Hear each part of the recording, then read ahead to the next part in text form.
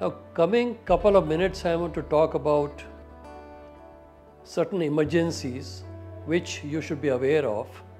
And if you are aware of, you will be able to recognize them and you can reach to the hospital or to the doctor at the right time.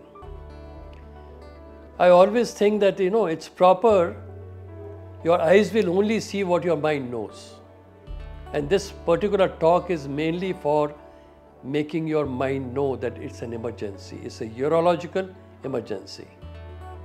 My name is Dr. Anupam Bhargav. I am chairing the Department of Urology in Max Smart Saket.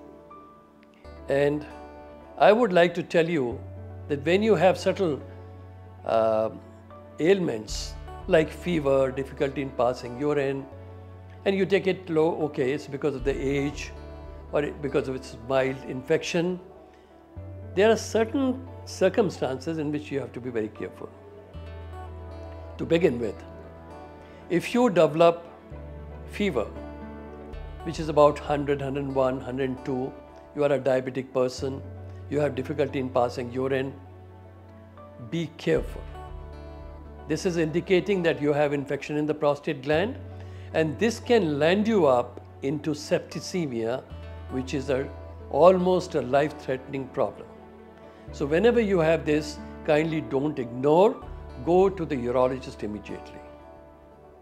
Number two, if you have a difficulty in passing urine, you develop a cough, or you have, you have taken some alcohol, or you have taken anti-allergic, and suddenly in the night you are not able to pass urine. So be careful about it.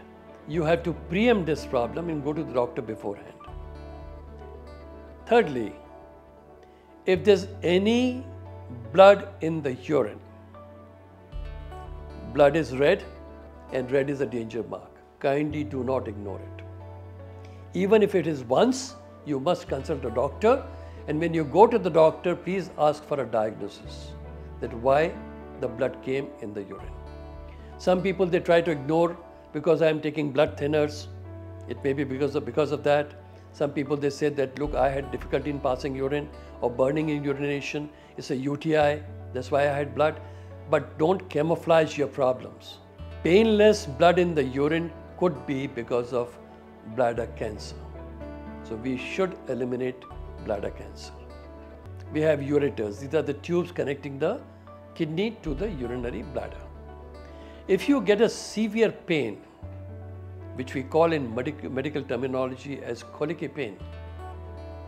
It indicates that you might be having a stone.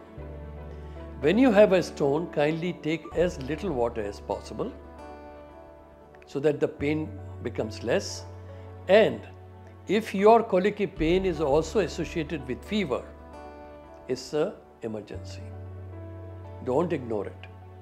So pain with fever is an emergency as far as urological problems are concerned. If you develop pain in the flank, that is the kidney area, and during the pain also you start getting blood, frank blood in the urine, this has not to be ignored because this can be an underlying tumor in the kidney which we could not detect earlier.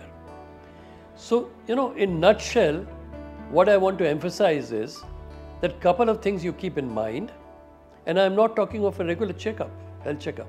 What I'm talking about is that if you know these four or five or six points in your mind, that these could be an emergency, then you will not ignore it and you will always go to the doctor at the right time.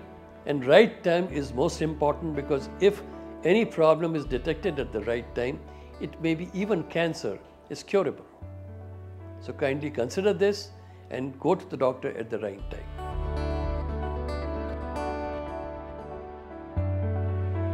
Subscribe to our YouTube channel and press the bell icon to get the latest healthcare updates.